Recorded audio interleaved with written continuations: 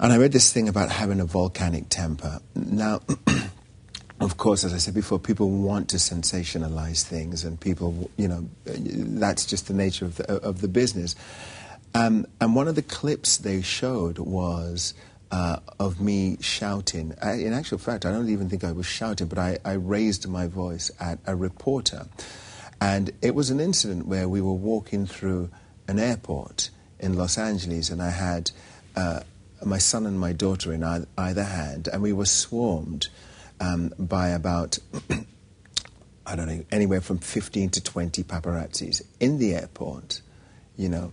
Uh, and one of them hit my son in the head with a, a camera lens.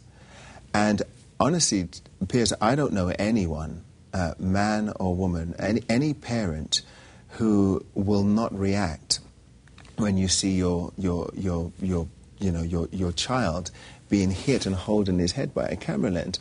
And I obviously said something to the reporter, and, you know, and then of course I become the angry uh, stereotype. You know, I become the, the, the rock star, the angry rock star with a hot temper.